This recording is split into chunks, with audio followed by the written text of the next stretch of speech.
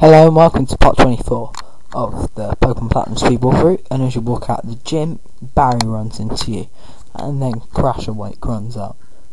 And they're all just going on about some galactic dude with a bomb in the Safari Zone. Or Deep Great Marsh, whatever it is. Yeah, I'm just having a cup of tea. but anyway, Crasher Wake runs off, so it expects you to follow him. So we roll up there on our bikes. But first, I'm just going to heal my Pokemon. So anyway, back here.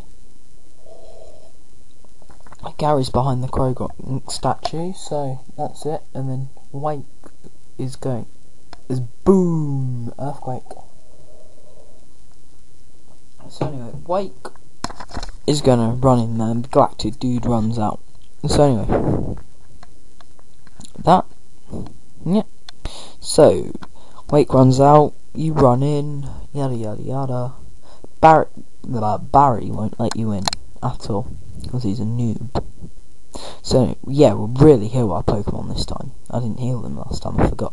Anyway, you run off and then you just talk to this galactic dude. Anyway, it just follows like this. I'll see you at the end because it's going to speed up and we're going to journey to Celestic Town after this. Okay, bye.